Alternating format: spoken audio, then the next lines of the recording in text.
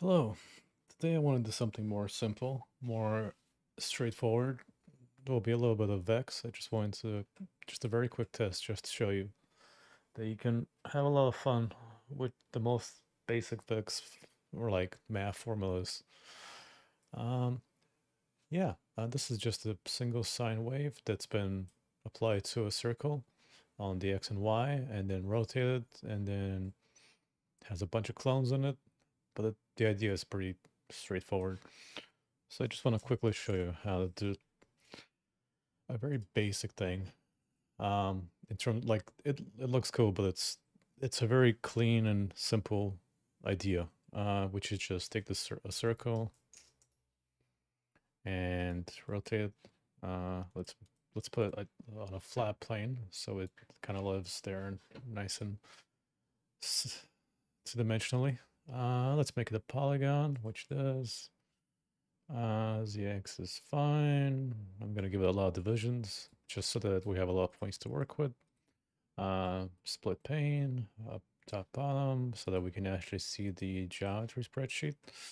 All right, so we got a bunch of points. Um, yeah, so let's, uh, oh, maybe we can use a closed arc.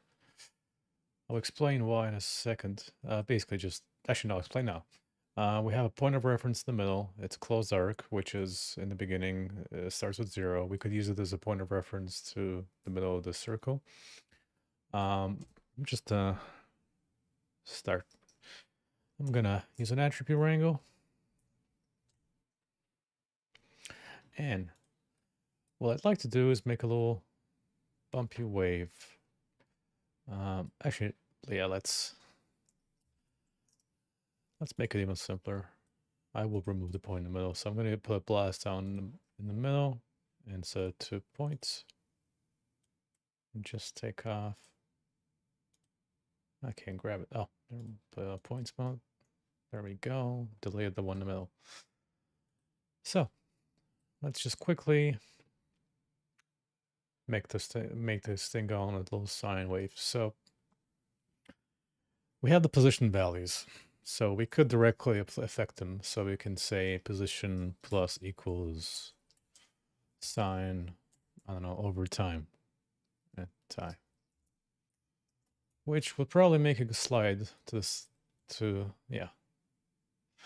So if I do that, then it's moving in the X and Y and the Z at the same time with a little time offset. Like I can just clip it to the X, for example. Uh, so now it's moving back and forth and if you want to know why sine moves back and forward, it's high school kind of math stuff that like we all forgot about, but basically it sine is like a little wave.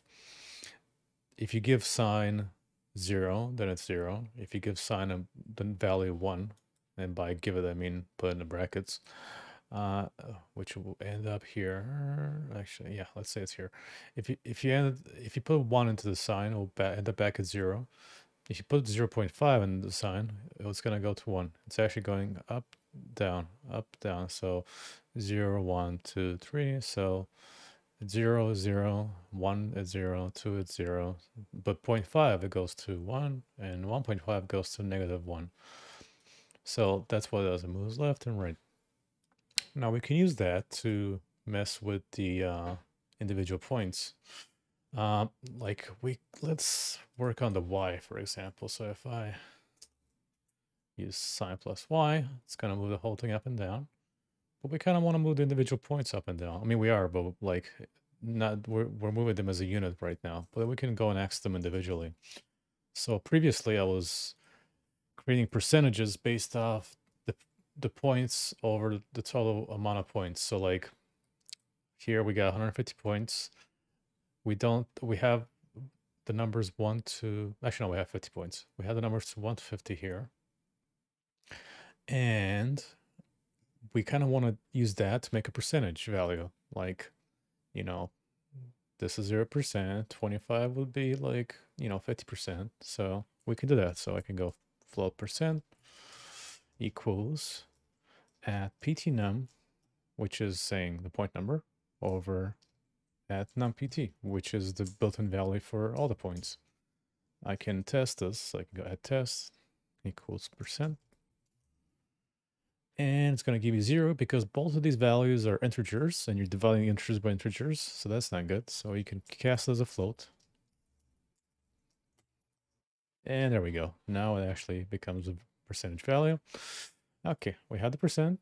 Next thing, uh, the way we have time here, we can use we can use the percent instead of the time,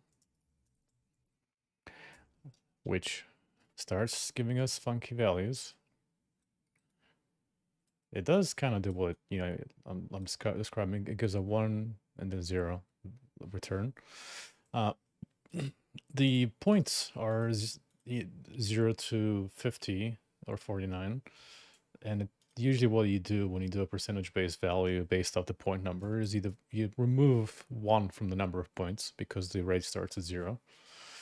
Um, this is just like a, a good standard practice. This way you can see that the percentages actually end up at one.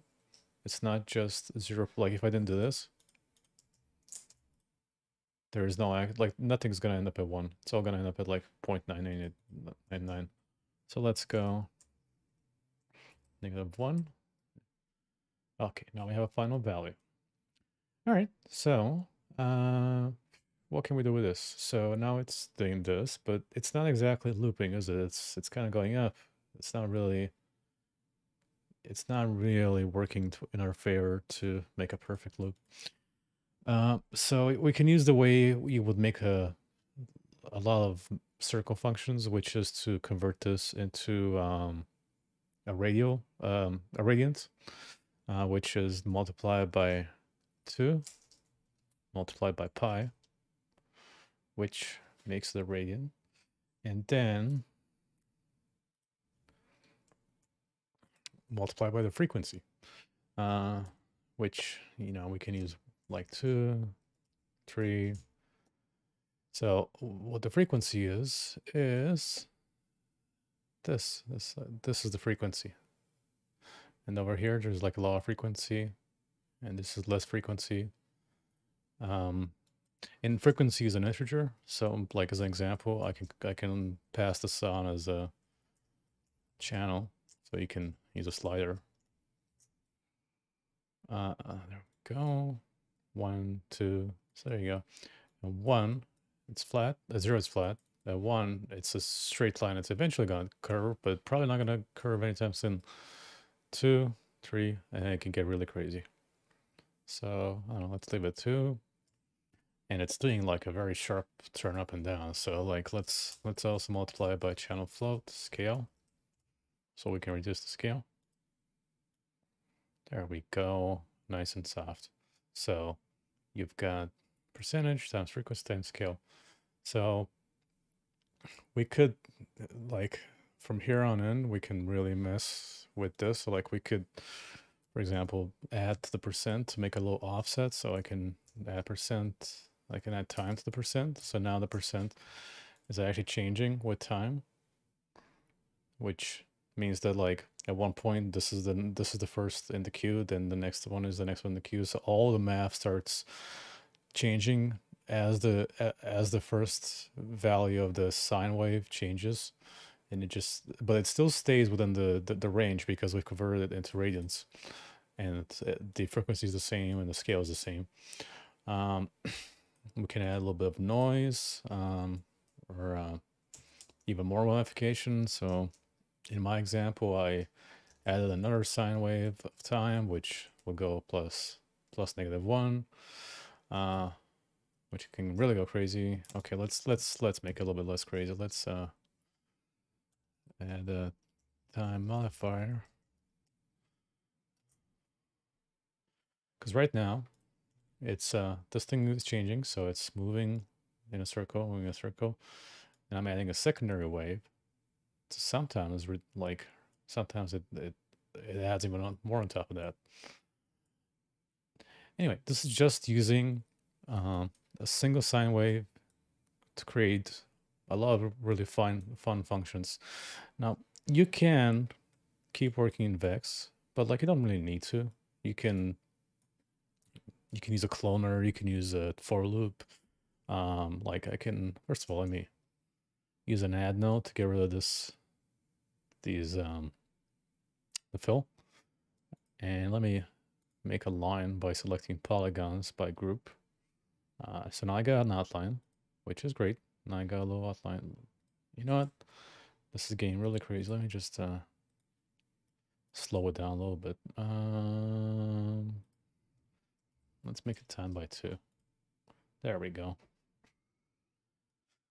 All right, so we got a little time effect. Instead of using Vex for everything on the planet, uh, I'm just going to use a copy node. Uh, yeah, copy. So now with the copy node, you don't really need to work on like a like I can directly say I want to have 17 copies, you know, 10, and then let's we can give it like a little offset. Um, so now I got 10 of these things, which is great. I can even uh, I can add more um, random like I can I can put sines right in here, so I can add more random random. So like I can go sine a frame, which is really gonna go crazy. Let me reduce the amount of crazy. Uh, no, too crazy. Uh, let's make it that much. Hmm. Yeah, yeah, I'll get back to that. So yeah, I can add that. I can, I can rotate it, so I can, I can uh make a little rotation offset, and of course you can stick it here too. Add the frame, and that will give you. Uh, let's make it more more obvious. I'm gonna multiply it by ten. So now there's like a little rotation happening in the middle. It's not just static. Uh, I'm gonna apply it to all all the the, the rotates. Uh, just gonna refresh the viewport. Cool. Uh, and yeah, and if you want, you can even want to change the, you know, the the height of this thing. So I can stick a sine wave in here too.